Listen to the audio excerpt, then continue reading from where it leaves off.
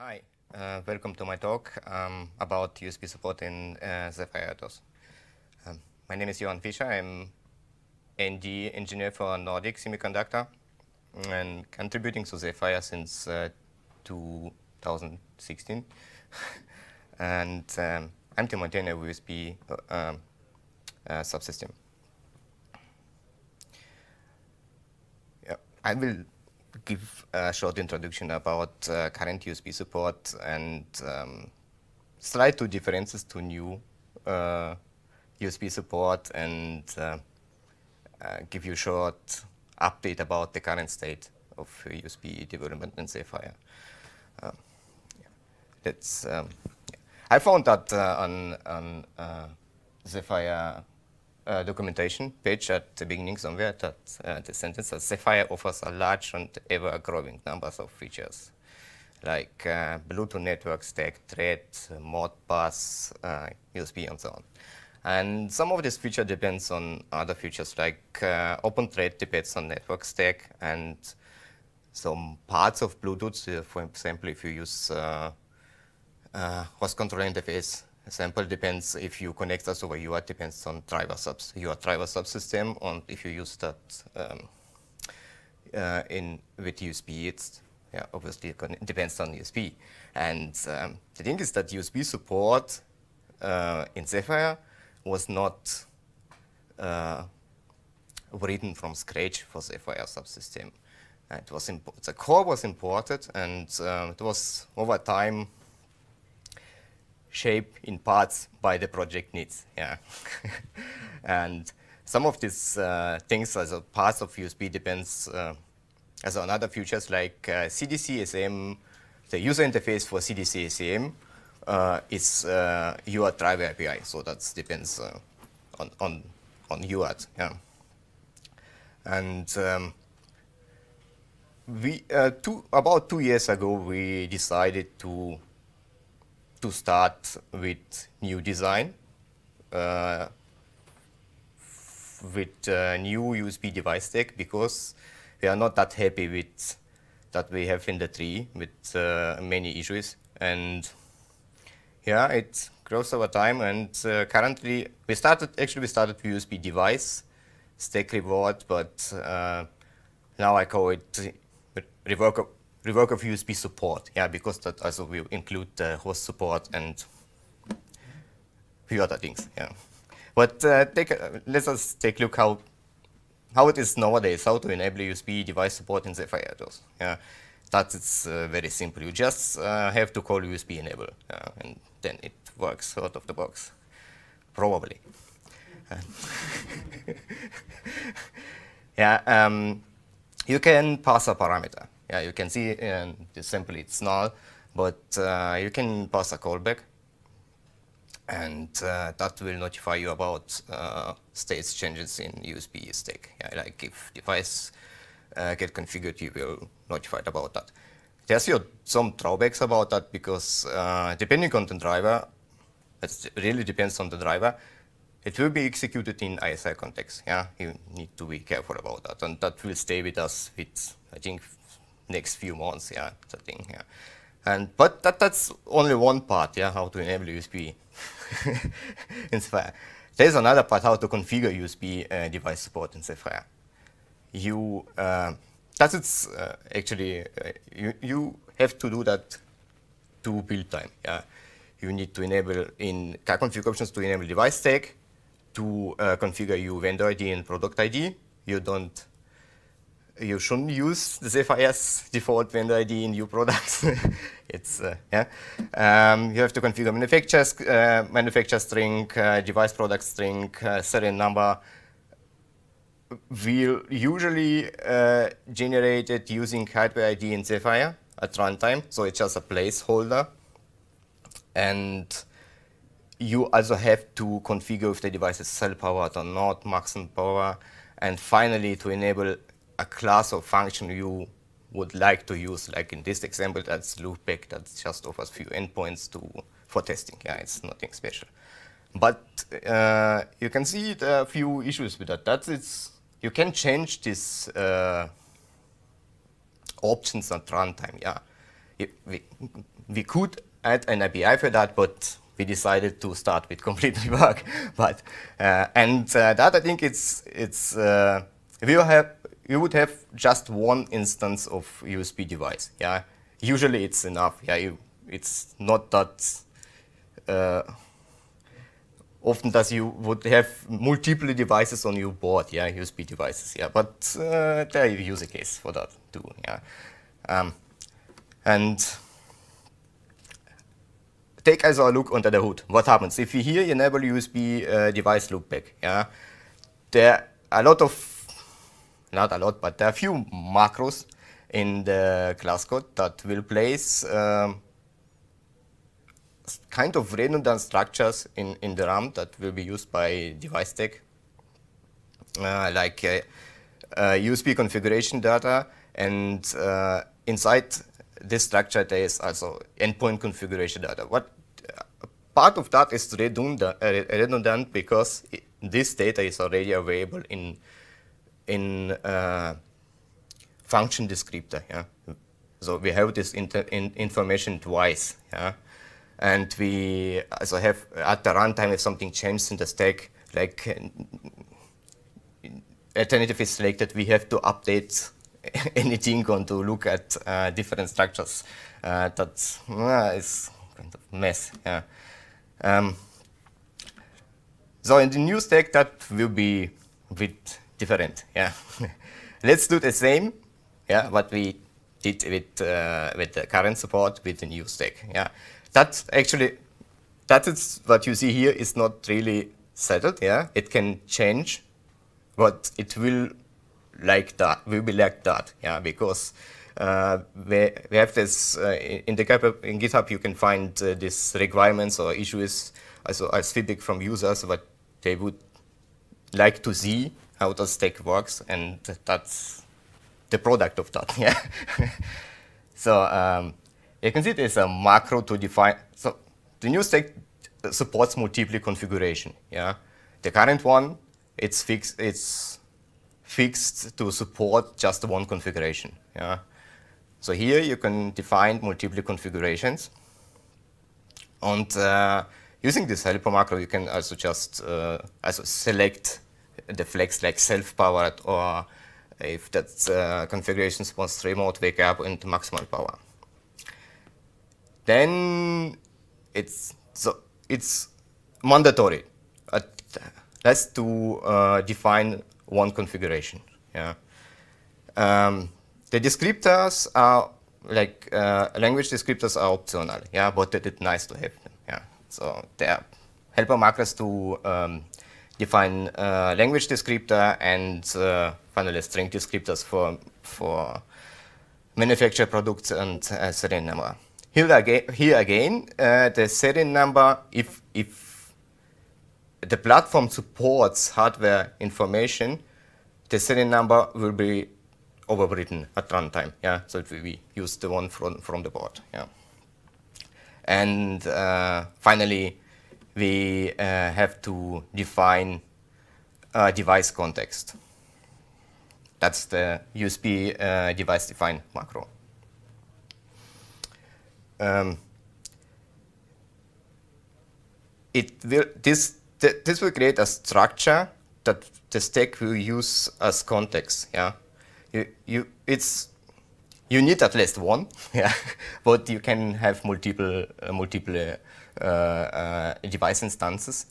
But if if that assigned to a controller, like here for default Zephyr UDC controller zero, you don't you can you can enable only one instance. Yeah, you can shut down that and uh, enable another one. Yeah, that is possible. So you can have two instances uh, um, with device uh, context and descriptor that uh, have different product or vendor IDs and different strings. Yeah.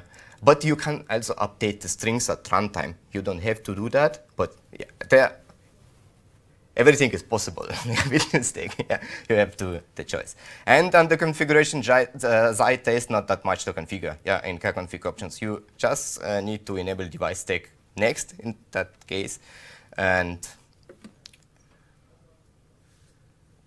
to enable USB again, yeah. but before that, as we do that to configuration time, uh, to to runtime, yeah, we need to register descriptors and configuration and uh, finally enable USB. So the first step is to um, add a descriptor to USB context, manufacturer, product and serial number, and finally to add a configuration. It's like uh, uh, device descriptor is built. First you have device descriptor, then uh, configuration descriptor, and so on. Yeah. After that, you you you can init initialize and enable USB support and uh, attach the device to a host, and our device uh, will probably work. Yeah. But uh, the host, if you use just on Linux kernel, for example, will complain that there is no uh, interfaces, yeah, because we didn't add any interfaces to our context. Uh, one thing uh, also important here that we have this, it, it might look unnecessary to call USB init and then USB enable, but the reason for that is like uh, after USB call USB init, the controller is initialized, but it's not recognizable by the host. The reason is to, for example, if you have um, uh, battery charging uh, controller, yeah, to give the controller time to uh, initialize or to detect uh, uh, if it's connected to a host or a charging device, yeah. So, so it means after init you can get notification from the controller that its VBus is present or not, yeah. And finally, if you call USB enable, the host will see your device and start to enumerate. Yeah. And see, I commented out USBD register class that um, um, in the previous uh, example for, for the current stack, I used loopback, but here, here we can uh, define or write our own uh, class or function in few slides. yeah. So finally, after that, uh, after this uh, presentation, this presentation, you can write on uh, USB class or function uh, for new USB device support. So what we need uh, at first place is the interface descriptor, and I that's just uh, short few lines of this. I, I I don't have, I don't have enough uh, place, so I, you can see just uh, the definitions for interface zero, uh, and can see that it's an alternative interface, uh, but also contains two endpoints. Yeah, and interface zero, be num endpoints would be zero. Yeah, that this configuration is uh, if you if you if you design a USB device this kind of configuration is uh, very useful because it's uh, it clearly describes uh, uh, an in which in which configuration the device or U class is ready to transmit and receive the data. And here, it, if the host selects the alternative settings one, that can be used for in the class to start or to prepare for uh, for, for the transfer. Yeah. The class API um, looks like, if you're familiar with Zephyr and uh, with device, uh, device API or device driver, that looks very familiar, familiar, familiar, but it's much simpler. And I couldn't use the device API here because it was too heavy and also device API is missing uh, node for uh, syslist uh, implementation. So I, yeah, I wouldn't need another structure anyway. So, um, but uh, USB device class API is, is very simple. Yeah. Um, there are only two, three uh, interfaces mandatory, like uh, request one. Any request to the endpoint will end in this function. There is update which notifies if uh, a new interface is selected as also the end of, if the host calls set interface, finally this function will be called to notify the class that an, another interface was selected and in its initializing function. Um, yeah, and finally, you have to use USB device define class macro to uh, place uh, uh, your structure in in the variable section. So finally, we can um, you you have access to to your class from everywhere in in in Zephyr yeah, at runtime, and that also there is an example in the shell how how to um, access that uh, using, uh, in, in that case, it would be a string foo. Uh, and short example how to submit the transfer. As I explained uh, before, you can select new interface and will be notified uh, over the interface update. And uh, here we can start, we should, for the completeness, yeah, one actually has to uh, check what alternative is selected yeah, and start uh, the transfer only if the alternative uh, one is selected. Yeah. But here it's just as example, you can start and transfer um, after the notification. And on on the right, you can see uh, you, uh, Python code um, for this class, how to uh, read from the, or to write to endpoint uh, 1 in that case. And in the console, you will finally see um, the hex dump uh, of the data. Yeah, You can go step by step actually, and uh, you should able to write open uh, uh, function or class for new USB device stack. And finally, overview what APIs we, what new APIs we would have in uh, in USB device stack. It's, uh, uh, again, starting from the top, it's device stack API that uh, if, if you are a user of the USB device stack or of USB device class, that's the API we will probably use, or if you would like to change uh, vendor ID or product ID at runtime, that is the API to use, and that will be defined in uh, include Zephyr USB USBD uh, header. Uh, if if you are designer of a USB class or function, then you have to look at USBD class API. That's also defined in the same header, but uh, use uh, another uh, namespace.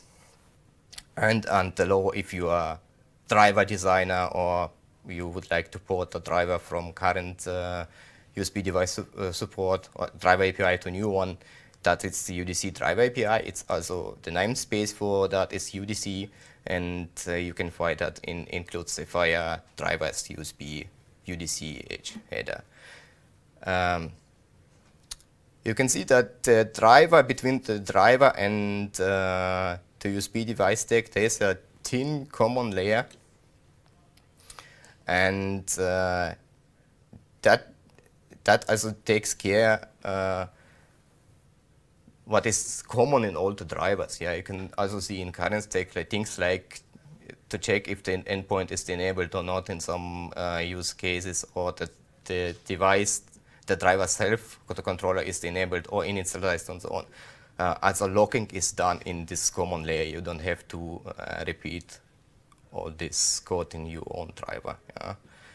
There we have, we'll go over to the UDC drivers we have support for multiple drivers. Yeah, like we have support for multiple device instances, there is support for multiple drivers.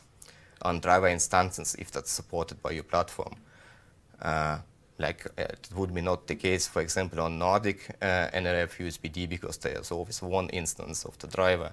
But you can attach, for example, if you would have support for external device, you can attach over USB and uh, would have uh, two uh, uh, drivers or uh, devices. Um, there's a single asynchronous API for in, to enqueue transfers in in the driver. Um, it, as if you compare that with the current uh, driver, uh, there is no direct write y access to endpoint buffer. Yeah, you there's for each endpoint there's an queue that will take the request, and after the request is uh, finished, there is the single API to uh, put it to a upper layer. So they, um, we use net buffers for endpoint transfers. at some there few drawbacks, but we will discuss that later and hopefully uh, fix that. Uh, I already described the common layer. And we have the implementations for NRF USB-D, controller on Nordic devices, Kinetis USB, FS OTG, and devices like FreedomBoard 64, Key, FreedomBoard Key 25, and 22, and so on. And the new one is virtual controller. And if you interested uh, to port a new driver to new API or a new um, to add a, to port existing or add new UDC driver, um, then please use one of the existing drivers as reference. But after you finish that, and please rewrite every single line. uh, just to make sure that you don't repeat the errors, the errors in the code I, for example, made or someone else. Yeah. Uh, uh, use the shell sample as application on device. There's a samples uh, USB shell sample. Uh, if you flash that to device, it will not immediately enumerate the device. You have to enable, to init. You need to do the, the steps in the sample one by one. Like um, you, you have to uh, init the device, enable the device, and uh, after that was enumerated, you can start, there's a command to start vendor-specific uh, control request uh, to verify uh, that uh, control transfers works without issues and to verify bulk. Usually if you get two, two things working, then you are fine. Yeah. Also, one thing is to verify endpoint uh, halt. either for control endpoints using features or no for the either using uh, on the host side using features, that feature halt and the endpoint, uh, or from the shell. Yeah. Um, the new of working on is USB uh, host controller uh, API. It's uh, very similar to uh, device control API, but uh, it uses net not not uses net buffer buffs directly, but in containers. Yeah, there's uh, always, depending on the art of transfers, there are at least one or more net buffs in this container. And for example, for control transfers, it contains three of them, like one each one for two or three, depending on, on the control transfer, like for setup, uh, control, and status states, uh, stage of, uh, of the transfer, of the control transfer. Um, there is also a team common layer between driver and host stack uh, as helper. And uh, currently we have uh, in the branch implementation for the max 3421E uh, controller, you can connect over SPI to any devices actually, and uh, for virtual controller. And as uh, host support is in in in at the beginning, it's a very simple initial uh, code, um, initially driven by needs for testing, uh, for test uh, device support, and is uh, that is very similar in structure to new USB device support. Yeah the stack development, I hope, I hope it will accelerate in next releases, but we are very busy with device part. And um, finally, it should ideally map the device support. Yeah, like for if we have CDC ACM code on device side, ideally we would have CDC ACM code on the host side to build, uh, also for the testing. Yeah, and uh, new and hot, for, especially for the testing, is the virtual bus and virtual controllers. Yeah, that was actually motivated by uh, by the top level testing on the hardware. So internally at Nordic, we have this setup with Max device uh, that can attach to uh, our boards, and uh, do some testing uh, related to chap usually chapter 9, like device framework, to um, to verify uh, the stack, and but as other function like uh, suspend and resume the device, test remote wake up, and so on.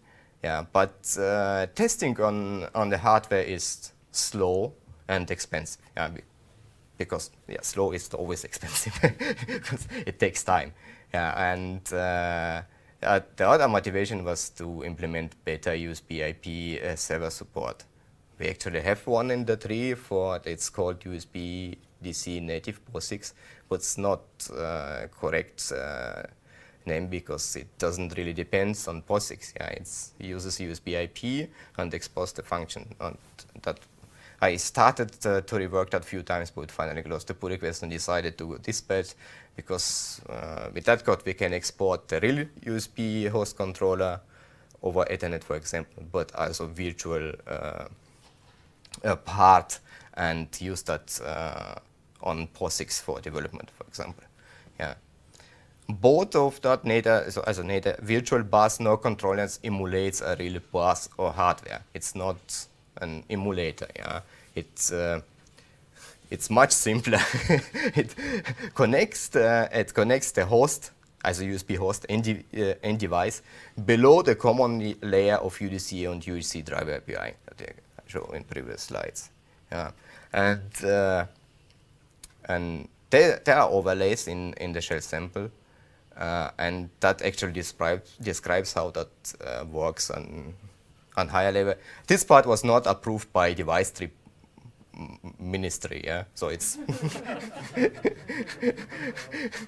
the, that that's yeah yeah that's may change yeah because before it uh, gets in, but uh, yeah you can see here the devices are child nodes of the controller, and uh, that allows me uh, using uh, to obtain the name of uh, of the host node using device tree. Yeah. And that, that is very simple. I don't need anything uh, special for that, just device tree and virtual bus support. Bus support is, actually this virtual bus support is, is in, yeah, closer to real bus as USB bus is. Yeah, because in, in, in this virtual bus, uh, from the host controller, you can advertise uh, uh, the events to all devices connected to this controller. So it works like a bus, like dbus, for example. Yeah. But uh, the responses are uh, directed uh, to the host only. Yeah. Uh, and that uh, has some issues because on USB you can have, you don't have really a bus there to connect two devices. To, for example, like here, if after the reset both of these devices uh, are in default state with address zero. You don't have that situation on uh, on the real USB because there's hub in between. And uh, here we just need to care uh, that uh, only one device is initialized and after that it's enumerated, we can initialize another one and start with testing like that. So it's a kind of work around, but yeah, yeah, it works.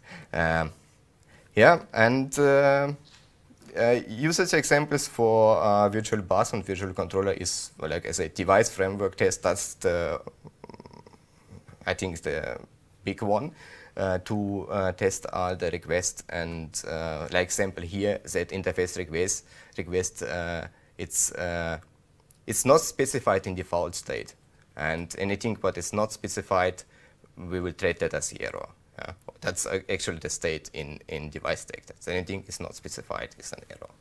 And if device is the Andre state, then the device uh, stack must respond with error. And if that is in configured state, the device may may that, that the request may be valid or not. Yeah, depending on the interfaces. Yeah.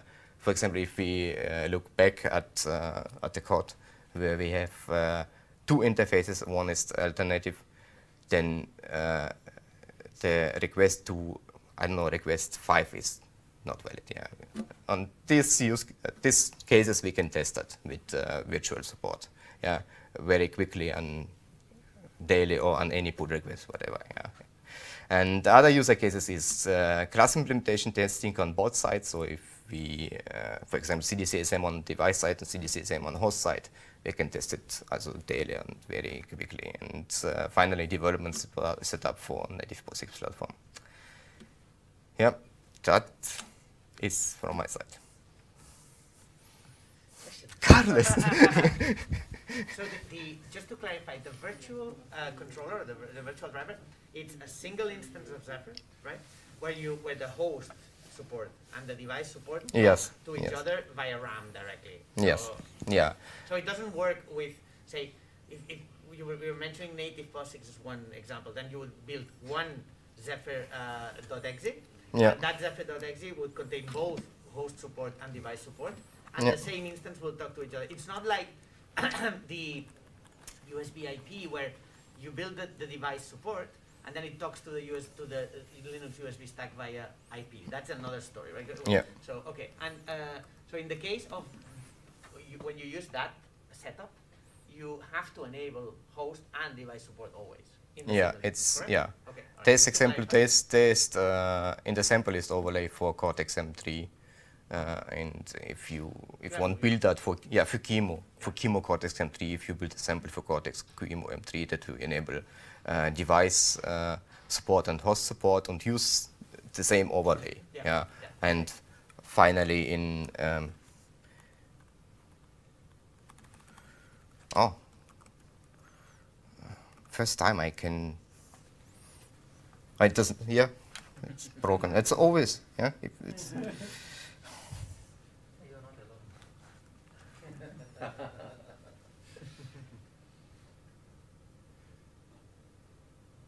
That's weird. Yeah, that's I I hoped I can uh,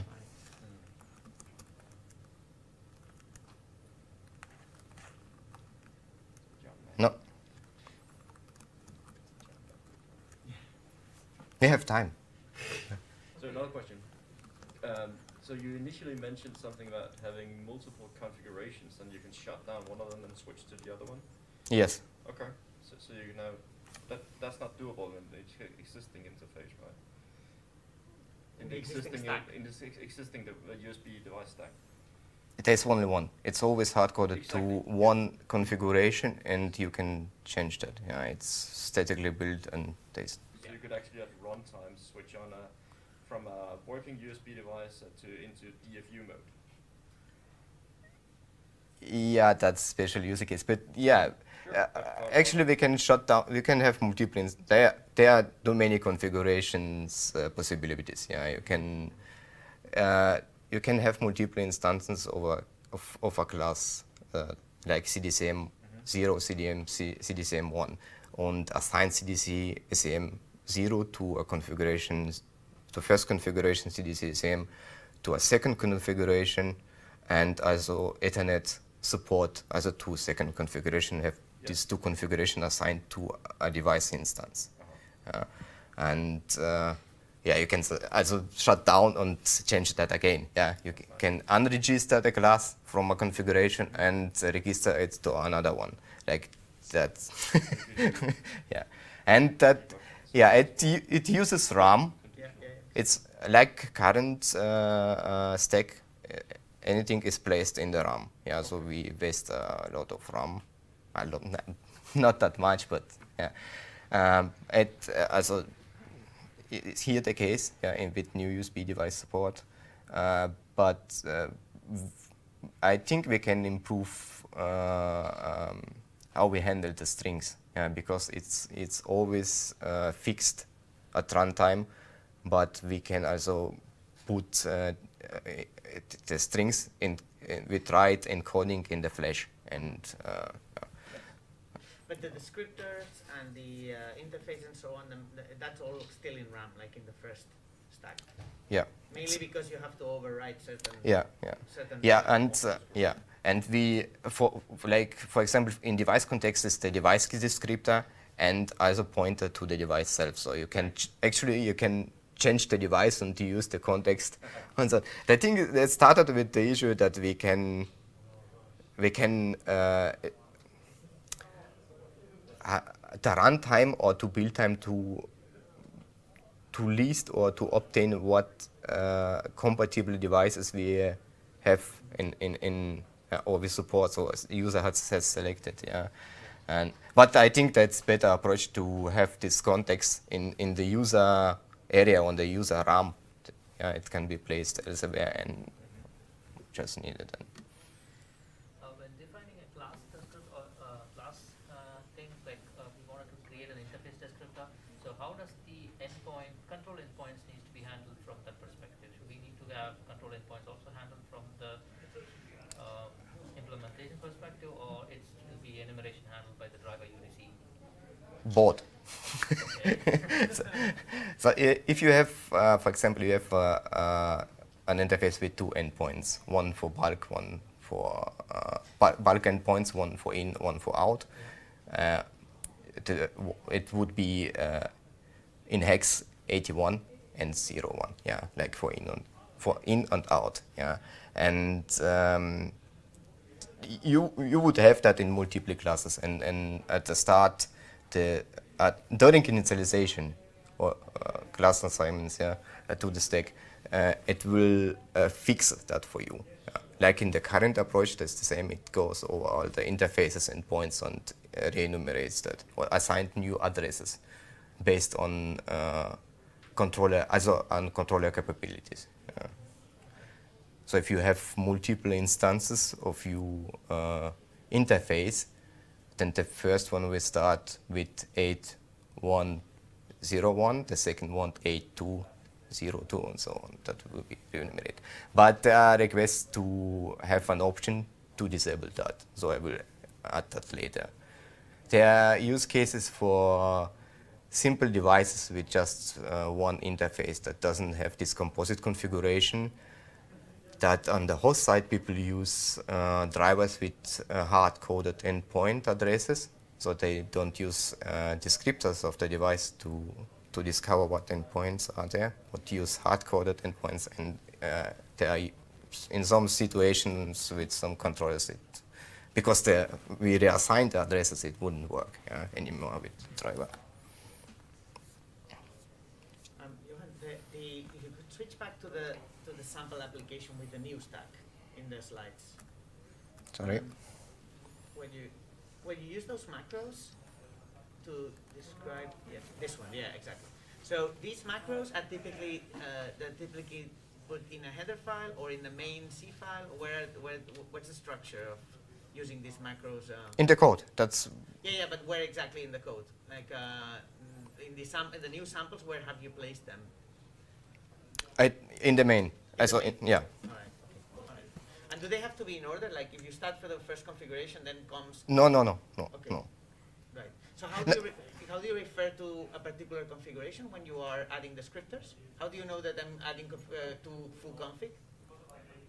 What line? No. So if you if I define let's say two uh, two. Yes. Yeah, the USBD configuration define full config. That's my first configuration. Assume let's I have two configurations. How do I tell that a particular interface? The first one yeah. you add using USBD 8 configuration will be first index and the second second and so on. I had a I, ha I had a version where you user could assign the number, mm -hmm. but that doesn't work good because you if you start with uh, not with zero example, yeah, mm -hmm. then it would not work the host will not enumerate. At least Linux host say no. the first one has right, to right. be that, cannot be, for example, two or three. It's no way. Right. So that was not, um, in my opinion, not that good. So I changed that. Uh, okay, but the key ah, okay, so you have to actually hook that configuration to USB add configuration. Yeah. I see, I see, all right. To the first configuration. Yeah, you have to care, uh, to take care what uh, to what configuration you add. Uh, adds but what, then I guess, why why partially macros and partially functions? Why not do that, that part that you have in macros, why not do it in functions as well? If you're going to do it anyway? So wh why have the API split between macros and functions? Why not have just like a, a, an API call string define and call it, you know, uh, and then. Uh, in the macro test. They go to RAM. Those go into RAM, right? Or yeah, but there's not only the string descriptor structure. If you use the USBD, USBD descriptor string define, it's not just uh, device, not only the device string descriptor structure, it's also uh, there's a management structure with uh, sys uh, sys node. Yeah, it's instances more more uh, not just one structure but few of them, and there use there's a like uh, we can have additional descriptors on depending on the index. Uh, also you, you have to provide the index and uh, in the request processing that will look for this index and if they wouldn't find that it will uh, halt the endpoint, also reply, reply with error. But every, but every single thing, every single structure that's declared by those macros stays in RAM. Right? Yes. Okay. Yeah. Uh, yeah that that's my question.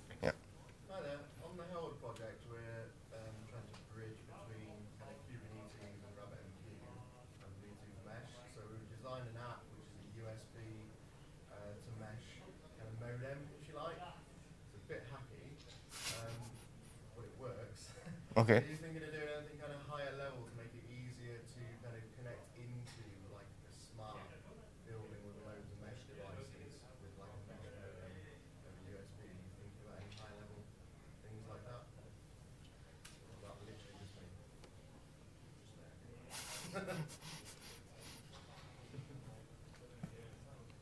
okay.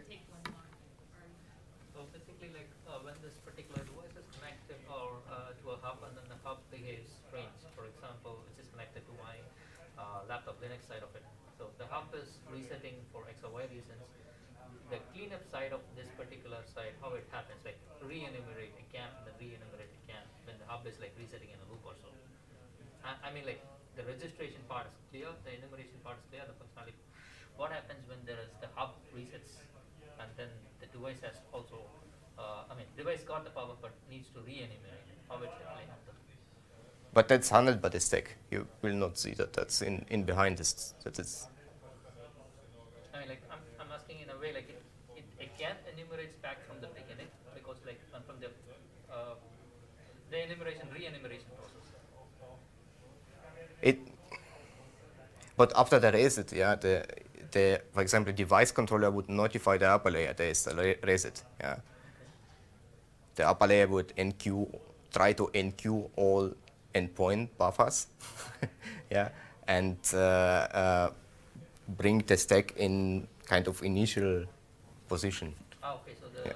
hub reset is triggered in a way like, like yeah, but yeah, what is what is missing here? You can see there is no callback for notifications. Mm -hmm. Yeah, in USB enable. We that's in, intentionally because we have uh, two approaches in Zephyr. There are two different projects to add a kind of dbus, yeah, kind of like dbus support in Zephyr. One is this ZBus pull request, and uh, the other one is uh, event manager from Nordic. And um, device stack will use one of these approaches, 294, yeah, to notify the user. There will be a channel to subscribe to USB notifications, yeah, to uh, general notification from the stack from specific context to get notified if the host uh, reset uh, or VB like VBus is, is connected or VBus is present, yeah, for your charging device. Uh, device is uh, configured, yeah, if you need to change uh, uh, the operation mode of your device. And we can we can also have class-specific uh, notifications. Like we have this, uh, it's actually workaround for CDC ACM on some Arduino devices to put it in uh, bootloader mode if the baud rate is changed. Yeah, that's very, I don't like that really, and that's very hacky because it's, uh, it's called from uh, class context. And uh, having this kind of event manager or ZBus we would able to uh, also to submit uh, notification from the classes like for the CDC ACM some parameter changed you can subscribe to this channel and will be notified that. Yeah, Yeah, that's I, I forget to mention that, but that's one of them. Yeah, when we have multiple configurations like audio and then like say mass storage and then like in the audio process I need to take a call. Yeah, the yeah. of it is something. Then thank you for your attention.